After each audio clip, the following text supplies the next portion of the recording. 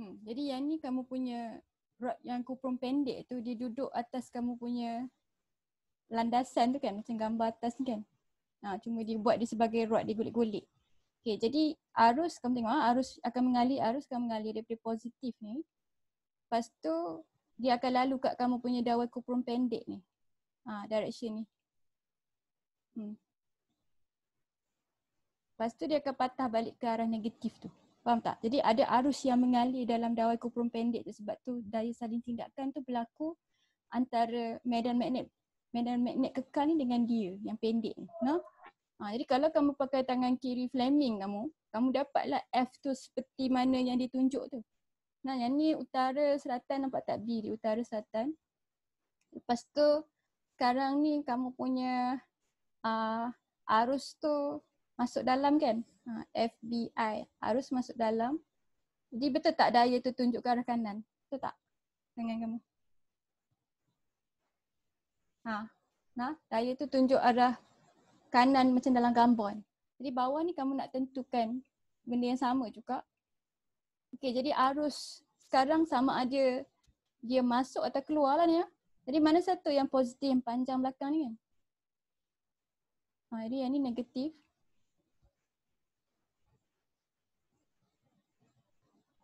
Okey, jadi kalau yang melalui, yang melalui kamu kuprum pendek tu dia masuk ke dia keluar?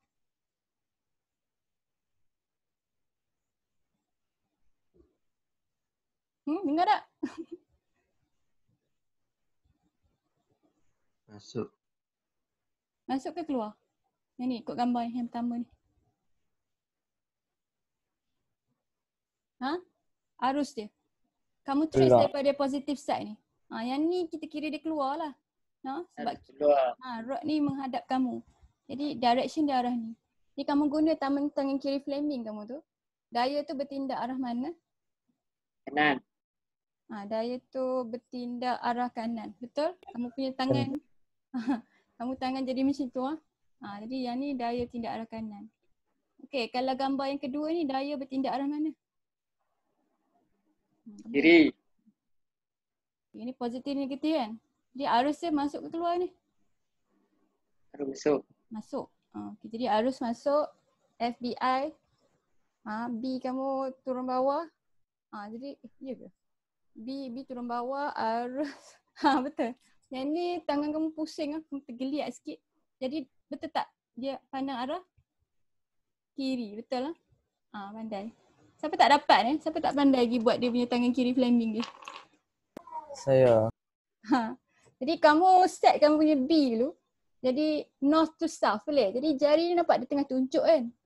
Jadi kalau sekarang ni maknanya kamu punya B tu turun bawah. Okay. Jadi arus kamu masuk. Jadi sekarang ni cikgu arus pandang kamu lah sebab masuk dalam skrin cikgu. Boleh? Jadi yang ni kamu tergeliat sikit. Jadi arus kamu jari kamu yang ketiga. Ha? Lepas tu kamu tengok ibu jari kamu pergi mana lepas dua orang tu dah align. No? Ha, jadi kamu akan dapati walaupun dengan sukarnya kamu punya jari tu tunjuk arah kiri. Okey. Jadi gambar yang seterusnya, gambar yang ketiga ni. F kamu ke kanan ke ke kiri? Kiri. Hmm, yang ni dia keluar kan? Ha, meh. Cikgu test, cikgu pun tak buat ke sebenarnya. PI. Jadi kamu punya medan di atas, arus kamu keluar. Jadi jari kamu tunjuk ke arah kiri. Betul ya? Semua orang check eh tangan kamu. Jadi sebab exam pun dia akan tanya kamu juga rod tu akan uh, ditolak ke arah mana, kanan ke kiri. Okay yang last one ni. Jadi kamu punya B kamu naik atas kan? B naik atas, arus kamu masuk, arus kamu masuk dalam. Jadi dia punya daya kiri ke kanan? Kanan. Ha, kanan. Hmm, pandai dah. Ha, okay. Ha, betul. Ha, jadi ni biasalah aktiviti mencari daya arah mana. Ingatlah tangan kiri Fleming ni kamu dah tahu dua orang. Jadi kamu kena align kan supaya kamu boleh tahu direction yang daya tu. Selalunya kamu tak tahu tu daya. Okay, jadi sekarang ni kita nak tengok aplikasi pula. Aplikasi yang ni sangat penting dalam kehidupan kamu. Jadi daripada daya saling tindakan tu kita dapat satu benda yang kamu guna dalam hidup kamu banyak iaitu kita punya motor. Boleh? ha, jadi aplikasi untuk daya saling tindakan ni motor. Sebab daripada magnet dengan uh, magnet kekal tu kamu dapat daya kan. Jadi daya tu yang menyebabkan motor kamu tu berputar. Ha?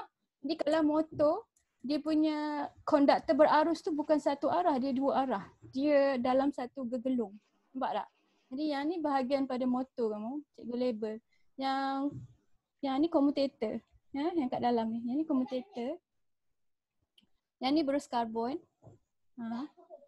Jadi berus karbon ni dia kontak dia dia sentuh je dengan commutator tu. Maknanya commutator ni bebas untuk berputar.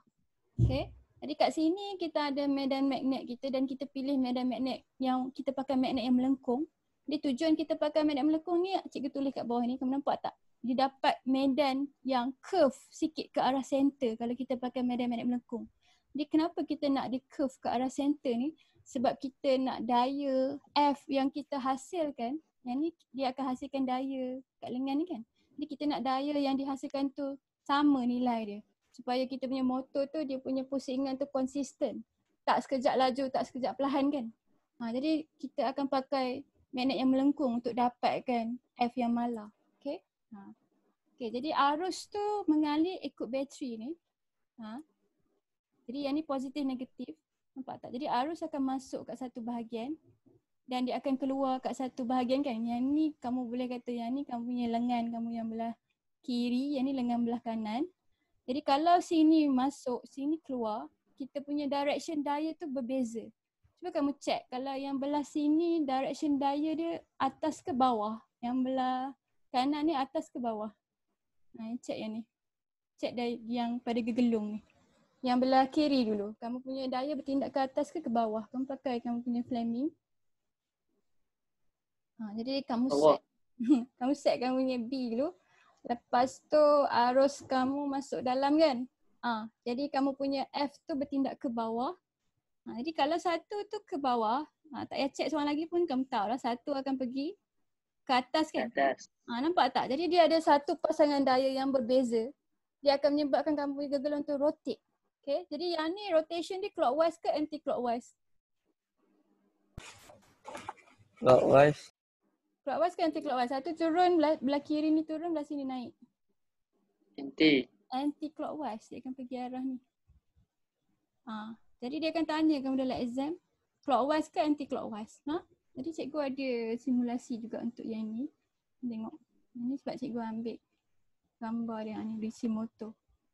Jadi yang ni motor kamu yang sebenar nampak tak dia ada magnetic field. Magnetic field tu pergi kat tempat yang kamu yang konduktor berarus tu cross kamu magnetic field. Yang ni medan lastik dia. Jadi kat sini dia hasilkan dua dua satu medan lastik lah tapi ada dua tindakan arah sebab nampak tak kat sini kat sini yang padat ini dia renggang kat bawah ni yang ni kat sini padat ini renggang. Jadi bila kita bagi uh, kita start kita run kan dia, dia akan rotate. Ha, nampak dia rotate counter clockwise kan macam yang kamu cakap tu kan. Anti clockwise. Jadi kalau kita nak dia pusing arah bertentangan kita buat apa? Ya, orang terbalikkan tutup dia. lah. Ha, kita akan terbalikkan bateri ni dia akan pusing clockwise. Ha? Ha. Jadi yang motor ni dia kena ada commutator baru dia boleh pusing dalam satu direction tau sebab kalau kata dia terus sambung pada litar ni dia mana dia tak boleh pusing lebih daripada separuh perjalanan kan. Lepas tu uh, dia dah lekat dah. Dia punya direction arus dalam tu tak boleh nak mengalir. Yang ni kamu nampak ah, daya yang bertindak kat belah kanan ni sentiasa ke atas. Yang daya yang bertindak ke arah kiri sentiasa ke bawah. Jadi kalau motor ni satu benda yang susah sikit kamu kena buat adalah kamu kena explain prinsip kerja dia. Kamu faham kan macam mana motor ni dapat daya dia putaran dia? Faham tak? Saya faham. Ha? ha, jadi first kali kita nak lukis dulu dia punya medan lastik dia. Jadi kalau medan lastik untuk motor satu gegelung tu masuk, satu tu keluar kan. Jadi dalam gambar tadi tu yang belah kiri tu dia masuk, yang belah kanan tu keluar. Jadi yang ni opposite lah. Dia keluar kat belah kiri, dia masuk kat belah ha, dia masuk kat belah kanan ni. Jadi kamu lukiskan medan dia. First kali kamu kena cari dulu ini punya medan dua orang ni. Kamu pakai genggaman tangan kanan kamu keluar. Yang ni clockwise ke anti clockwise tadi?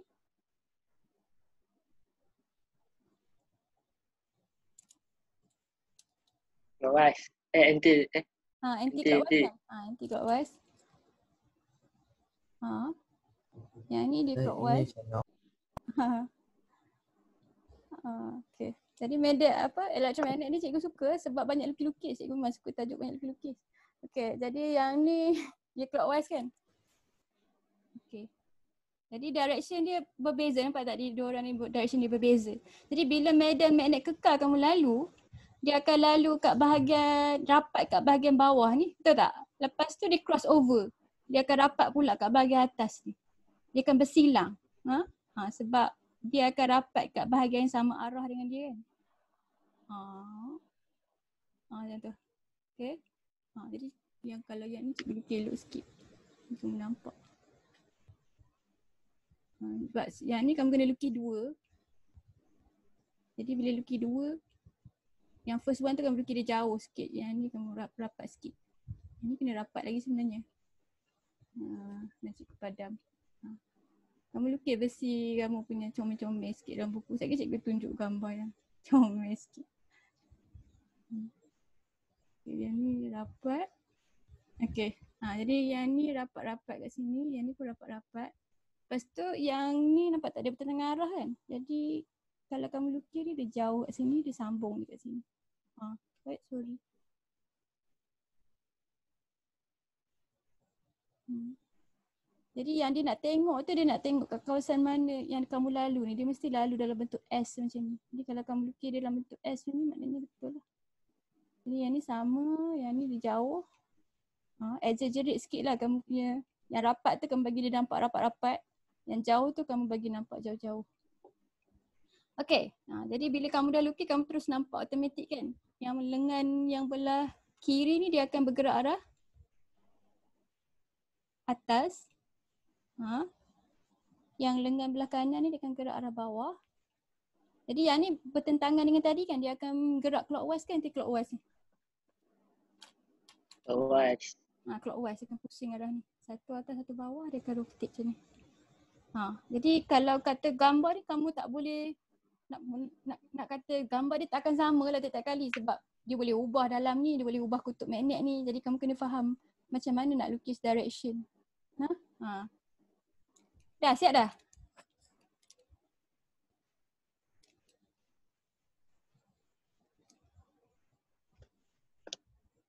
Ha, mungkin cikgu cari ada gambar yang comel sikit mana. Hmm.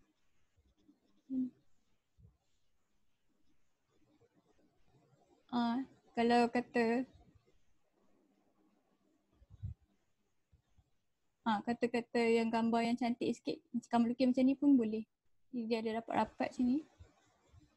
Lepas tu kat kawasan mana yang dia bertentangan tu dia jauh-jauh. Ha? Hmm. Jadi bila lukis tu lukis lebih lah yang ni lebih daripada satu line lah lukis dua tiga line. Baru kamu nampak di mana yang dia padat, mana yang dia tak padat. Ha? Okay. Jadi last kali mesti label daya dia. Ha, kalau kalau tak label kira tak lengkap lah sebab mesti ada tindakan daya bila kata ada medan magnet yang tak seimbang ni kan. Okay jadi kita nak lengkapkan kita punya prinsip kerja motor arus terus kita. Jadi bila kita nak tulis prinsip kerja dia, kita punya motor tu kita akan start story tu daripada awal. Jadi kita punya gegelung tu dalam keadaan terbaring macam tu. Ha? Dan kita akan tengok dia pada beberapa position. Dia terbaring. Lepas tu bila daya dah bertindak pada dia, dia akan jadi menegak macam ni. Ha? Sebab cerita dia berbeza pada tiap-tiap bahagian ni. Lepas tu last kali lepas dia menegak daya akan kena pada arah yang sama lagi menyebabkan dia jadi terbaring balik. Okay. Ha, jadi kita lengkapkan kita punya story ni. Kamu tolong cikgu kan tempat kosong dia apa yang berlaku.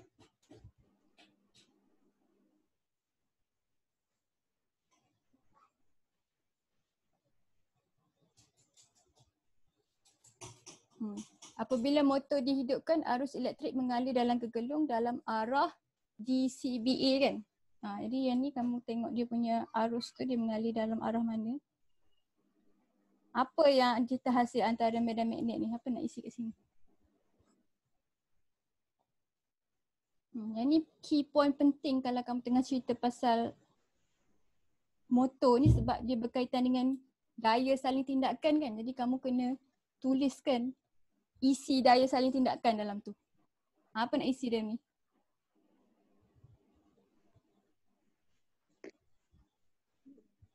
Ha. Daya. Tak. Ni eh. Yang tadi, ayat tadi tu yang masa kita cerita pasal saling tindakan tu apa dia? Antara medan magnet dan menghasilkan medan ha, mungkin yang ujung ni kamu tahu menghasilkan medan apa? Dia minit. Tak, salah.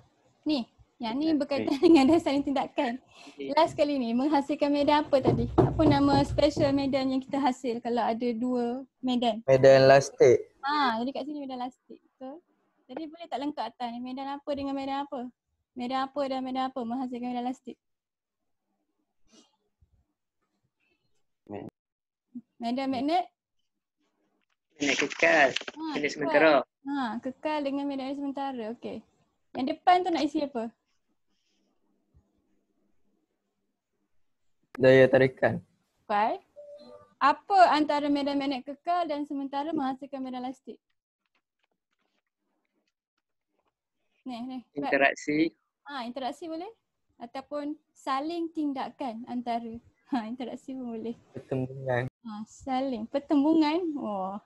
Ha, saling tindakan. Sebab daya saling tindakan kan? Ha. Oh tak cik cikgu satu ruang isi dua benda. Okay, jadi saling tindakan antara medan magnet kekal dan sementara menghasilkan medan elastik. Alright.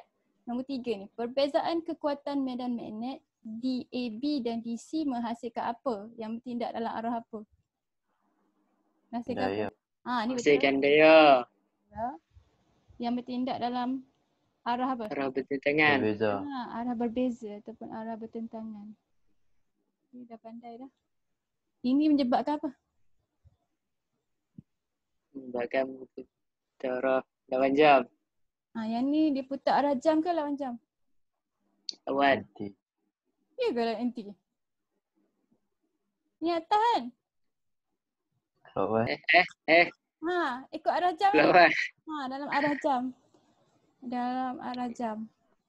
Ha, ni clockwise lah. Ni, kamu ing- kamu ingat eh direction ni? Okay, jadi kalau kadang-kadang dia suruh kamu label, kamu label lah. Kamu kena label dia clockwise macam tu. Ha, dia pusing arah tu. Okay, sambung. Jadi dia pusing, kamu nampak tak komutator ni dia ada ruang kosong ni. Jadi bila kata dia dah mendekat, kat sini dia bersentuhan tak dengan boros karbon bila dia kosong macam ni? Dok. Tak. Ha, jadi kita sambung cerita kita. Apabila gegelung mencapai kedudukan menegak, okay, kamu nampak kan dekat gap ni, pengaliran arus Putus. terputus. Ha, betul? Kerana komutator tidak Sentuhan. ha, bersentuhan dengan siapa? Ha. Hmm. Apa nama yang tepi-tepi ni? Ha, ini tadi. Tapi ingat, apa nama ni? Dua orang ni. Yang ni komutator, yang ni apa?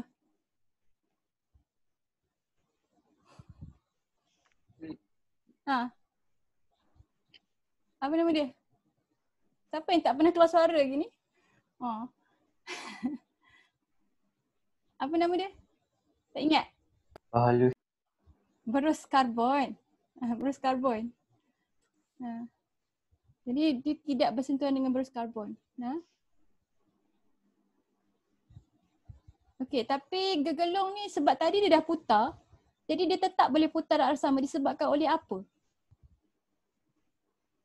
Arus. Tak. Arus tak ada, arus dah putus. Kalau arus dah putus, objek tu tengah bergerak, apa yang menyebabkan objek tu terus bergerak? Familiar tak ayat? Disebabkan oleh inersia dia. Dia sebab dia tengah bergerak, dia nak terus bergerak. Jadi dia kekal bergerak dalam arah yang sama walaupun arus dah putus sebab dia ada inersia. Ya. Jadi gegelung tetap berputar dalam arah yang sama disebabkan oleh inersianya. Alright, jadi yang ni last part cikgu dah jawab untuk kamu dah. Ha, jadi story dia panjang sikit kan sebab kamu kena cerita tiap-tiap bahagian kan. Jadi putaran gegelung berterusan menyebabkan pengaliran arus dan komutator bertukar jadi bila komutator ni dah tukar side, maknanya tadi A, B, C, A, B ni duduk belah kiri kan, DC duduk belah kanan kan. Jadi sebab dia putus kat tengah, dia punya pengaliran arus jadi terbalik lah. Tadi yang lalu A, B tu arah dia yang belah ni kan. Ha, sekarang ni dia ber- berpusing. Jadi sebab dia boleh tukar arah dalam gegelung ni, dia akan dia akan pastikan yang tu yang menyebabkan gegelung ni boleh put- terus putar dalam arah yang sama. Memang kita nak dia putar dalam arah yang sama lah. Boleh nak? Jadi tujuan commutator tu supaya arus tu boleh boleh apa? Boleh bertukar bila kamu punya gegelung tu bertukar bahagian. Nah, ha. Di putaran gegelung berterusan menyebabkan pengaliran arus dalam komutator bertukar. Daya yang bertindak pada AB dan DC turut disongsangkan. Ha, jadi mak tadi bila dia kata songsang tu maknanya tadi di ni duduk belah kanan. Lepas tu daya dia ke bawah. Tapi sekarang sebab dia duduk belah kiri, daya dia ke atas. Jadi daya dia disongsangkan. Jadi dia tetap bergerak dalam arah yang sama lah. Dia tetap akan gerak secara clockwise macam tadi. Faham ah? Faham? Ha. Jadi kalau dia suruh terangkan prinsip kerja untuk motor, kamu teranglah sedetail yang kamu boleh. Mungkin dia tak perlu terang tiap-tiap bahagian tapi yang kamu perlu sebut yang penting sekali yang berkaitan dengan daya saling tindakan tu nah. Ha, sebab dia aplikasi daripada daya saling tindakan. Okey, jadi dia ada satu lagi aplikasi. Ha, tapi lagi cikgu cikgu tak bobo dan slide cikgu cikgu nak kamu cari sendiri yang tu. Okey, putaran dapat ditingkatkan dengan apa? Apa faktor-faktor yang boleh membuatkan kamu yang motor tu jadi laju? Kuatkan arus. Ha, kuatkan arus yang mengalir, betul? Arus kuat, medan yang dalam tu kuat kan? Kamu yang medan magnet yang sementara tu kuat. Ha, yang ni. Jadi gegelung tu kat gambar tu ada satu tapi kalau motor sebenar dia ada Ah, dia ada banyak. dia ada banyak kan siapa pernah buka motor. Jadi kita tambahkan lilitan gegelung kita. Lagi banyak lagi bagi banyak orang boleh berputar kan. Ha, jadi dia akan putar Ya. dengan smooth lagi lah. Dia tak adalah macam uh, macam apa kalau kata pak gantung pada inertia dia macam eh eh macam tu kan. Ha, jadi kalau ada banyak dia akan pusing lebih laju. Ha, lebih baik. Okey, tambahkan. Okey, tambahkan yang, yang last kali ni apa?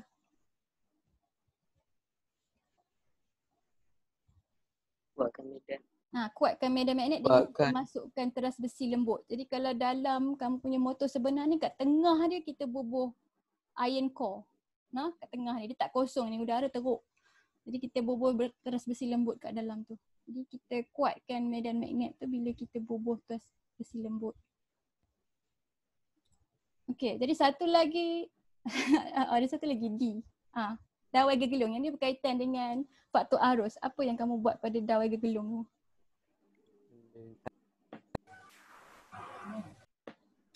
Ah, macam mana kamu nak kurangkan rintangan dawai gegelung kamu? Baik. Ha, kamu guna diameter yang besar. Okay. Diameter tambahkan, tambahkan diameter.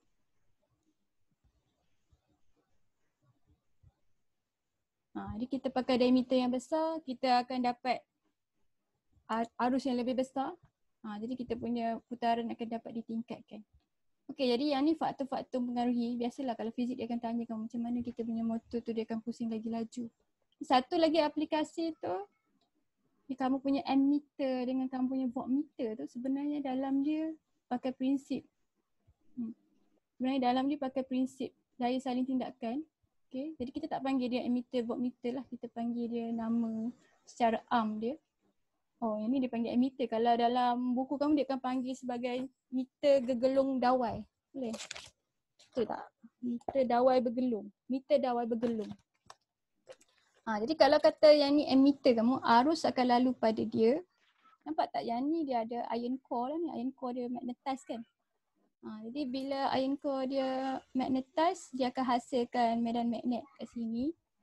Medan magnet ni medan magnet sementara, kat luar ni medan magnet kekal. Yang ni pun sama, kita pakai medan magnet jejarian supaya kita punya daya tu selari. Okay. Ha, jadi kalau kata arus tu besar, dia akan hasilkan, yang ni pun daya putaran tau. Sebelah sini dia akan hasilkan force yang bertentangan dengan sebelah sana. Sebab tu dia boleh rotate pada satu arah. Jadi kalau kata arus tu besar, kamu akan dapat pesongan yang lebih besar. Bila arus tu kecil, pesongan yang lebih kecil. Lepas tu kalau kita offkan dia, dia ada satu spring tadi dia. Yang ni spring. Spring tu akan kembalikan dia balik pada kosong dia. Ha, nah. Ha, jadi dia dia akan rotate tapi bila arus dah berhenti dia akan balik pada kosong dia. Sebab tu dia sensitif sikit alat ni kadang dia lekat. Spring dia tu lembut sangat. Ha? Jadi yang tu Kak Cikgu nak kamu tulis sendiri boleh dia punya tu. Mana ni nombor dia. Ha ni, meter gegelung bergerak. Jadi meter gegelung bergerak tu boleh jadi ammeter kamu ataupun voltmeter kamu. Di lukisan dia macam ni, dia kamu lukis. Lepas tu kamu tulis prinsip kerja dia secara ringkas. Boleh rujuk dalam buku. Ha? ha. Okay, habis dah kita nak jawab soalan. Ada berapa minit lagi? Banyak minit kan? Okay. Ha, jadi yang ni cikgu nak kamu jawab sama-sama ke kamu nak buat seorang-seorang? Sama. Sama. Alright. Soalan pertama. Kamu nampak tak arah direction arrow-arrow? Nampak tak? Nampak kan? Nampak. Okay. Nampak, Jadi mana satu gambar yang betul? Rajah menunjukkan kombinasi betul bagi daya-daya medan disebabkan ha, rajah mana? Rajah mana yang betul? Jadi kamu check dot dengan cross ni. Lepas kamu check dia punya arah dia. Ada yang kamu dah nampak jelas salah kan? Ada ke? Yang ni B ni. Betul tak salah? Hmm, betul salah. tak? Sebab apa salah? Dia punya daya pi kat belah tu tak? Dia punya north south yang terbalik betul tak? Nampak tak dia punya south tu pergi ke arah utara. Jadi yang ni dah sah-sah salah. Jadi benda yang sah-sah salah tu kamu reject siap-siap. Satu je yang macam tu ke? Yang tiga ni betul kan? Okay, tiga ni dia punya arah medan magnet kekal dia betul. Sekarang ni kamu check kamu punya dot dengan cross tu betul tak dia akan hasilkan daya yang ditunjuk tu.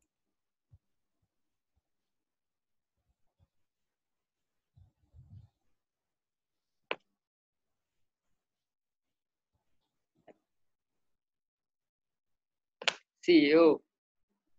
Ya? Orang lain jawab apa? Sekejap cikgu kena check juga.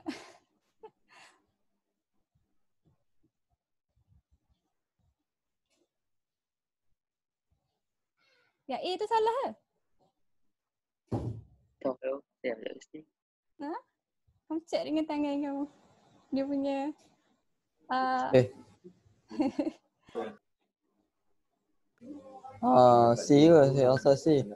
ya ke C? Yang ni Ya, ya. ya ya je. Okay. Tak tahu. Kamu tengok yang ni nampak tak? Kamu check dengan kamu punya gambar tangan kanan. Yang ni dia masuk kan?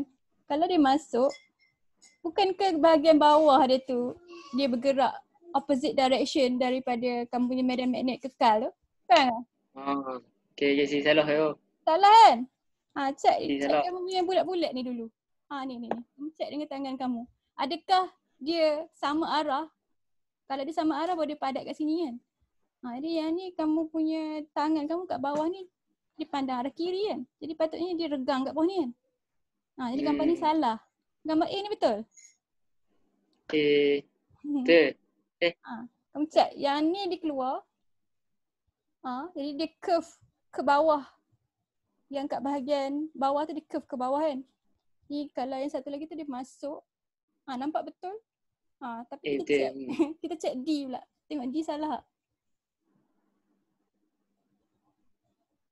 Ha, ni D. D. Ah, D. Ah, D, D. Ha, D D, salah. betul ke salah? Tak tahu. Sal- salah. Kamu tak tahu dia salah ke betul? Kenapa D salah? Eh, sal- Sebab kanan eh yang X tu kalau belah atas dia Ah betul Hijau. direction dia ke kiri kan? Eh ke kanan kan? Ah betul. Jadi dia opposite. Ah jadi jawapan dia A. Oh ni mat- kalau exam kamu susah juga nak check tiap-tiap satu ni kan. Ah ingat nak check yang bulat-bulat ni sama matching tak dia. Dia- Kalau dia sama arah baru dia dekat. Kalau dia bertengah arah dia akan jauh. Jadi kamu boleh tengok di lukis ni betul tak bahagian yang yang dekat ni sama tak dengan arah yang magnet bar ni. Okay. Jadi yang ni jawapan dia A. Okey, soalan seterusnya. Ha, ni kena kecil sikit tak nampak. Raja tak apa potong yang bahasa Inggeris tu. Raja menunjukkan satu liter dengan wire LM tergantung berdekatan antara satu sama lain dan disambungkan kepada bateri melalui S. S. Kedua-dua wire terendam dalam merkuri. Jadi dia pakai merkuri sebab kalau kata konduktor berarus yang satu, sat- yang satu dia bukan solenoid dia lemah kan. Dia merkuri tu macam teras besi lembut kan dia akan kuatkan sikit medan tu. Jadi apabila switch S ditutup, apa jawapan dia? A, B, C, D. Apa jadi kat L dengan M? Hmm, tengok Rita dia.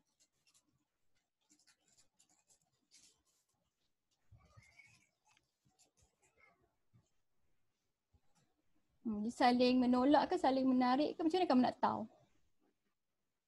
Kita tutup switch ni kamu tengok positif negatif dia. Ha, dia kalau yang ni positif kat sini dia masuk ke keluar? Masuk kan? Sini dia keluar. Okay. Jadi kalau kamu lukis medan dia, kamu tengok kat mana dia padat, kamu boleh tahu. Ataupun kamu lukis medan ni sikit. Yang ni, yang ni kamu lukis dia punya direction, lepas tu kamu check dengan kamu punya uh, tangan kiri Fleming pun kamu dapat tahu daya tu bergerak arah mana. Ha, okay, jadi jawapan dia yang mana? Yang ni. Buat sikit gambar ni.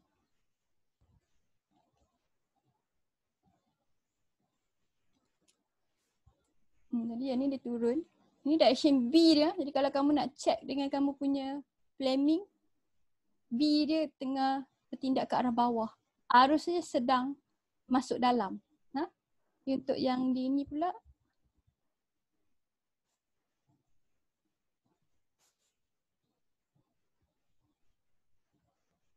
Ha, ini B dia. Dah, boleh nampak tak apa yang berlaku? Mana satu? Dia akan menolak ke, menarik ke, dua-dua bergerak ke kanan ke, dua-dua bergerak ke kiri?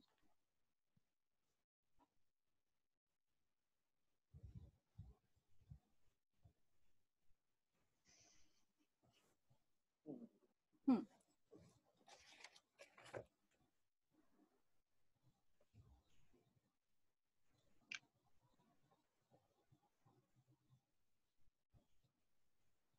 Tak tahu pening tu. tak tahu. Kalau cikgu pakai tangan Fleming cikgu yang yang dia ni. Dia gerak arah mana? Kamu ikut B yang ni. FBI kan. Jadi B dia turun bawah. Okay. Arus dia masuk. Daya bertindak arah mana? Kan- Kanan. Kanan ke kiri? FBI. B dia turun. Arus dia masuk. Ha, masuk dalam. Ha. Kiri ke kanan?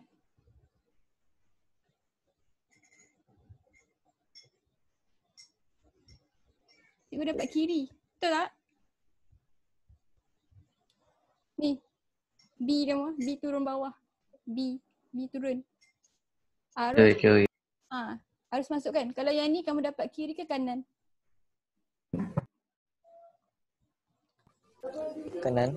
Masuk dalam. Lepas tu dia punya B dia naik atas kan? Ha, dia pandang kanan. Ha, jadi kalau arah arah daya dia bertentangan macam ni, dia saling menarik ke saling menolak? Saling Menolak. Ha, saling, menolak. saling menolak. Jadi satu lagi kamu boleh lukis medan antara interaksi antara dua orang ni. Nampak tak yang ni sama arah? Apa jadi kalau dia sama arah? Dia padat kat sini. Ha, jadi kalau dia padat kat sini, dia akan saling menolak.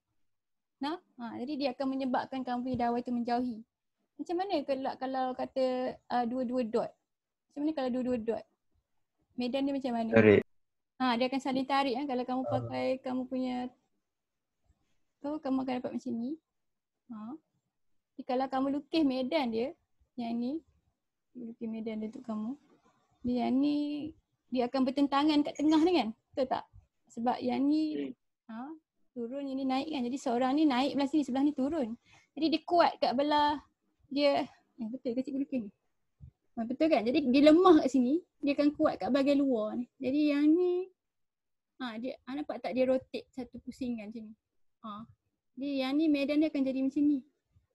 Ha dalam bentuk macam ni. Jadi kalau medan dia bentuk macam ni maksudnya dia akan rapatkan kamu punya dawai tu. No? Ha, sebab yang ni dia boleh pusing sebab dia flow dalam satu direction. Ini kira satu direction. Okay. Ha, ini untuk tambah pengetahuan kamu. Okay. 39 ni senang. Ha. Rajah menunjukkan satu konduktor membawa arus berada dalam medan magnet kekal. Ke arah manakah konduktor itu akan bergerak? FBI. A ke B ke C ke D?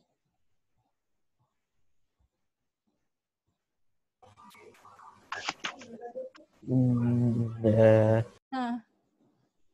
B eh, D. North to south kan? Eh, sa- Ha, north to south. Lepas tu sekarang ni arus kamu keluar ke masuk?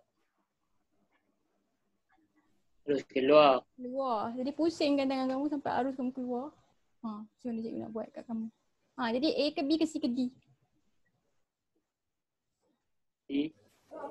D. Betul? Siapa tak dapat? Ah betul. Direction dia jadi D. Saya was-was tu.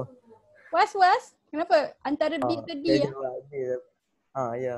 Ah, jadi first kali ada ni eh, laras dulu jari kamu yang tunjuk tu, north to south dulu. Lepas tu arus tu kamu kena rotatekan tangan kamu.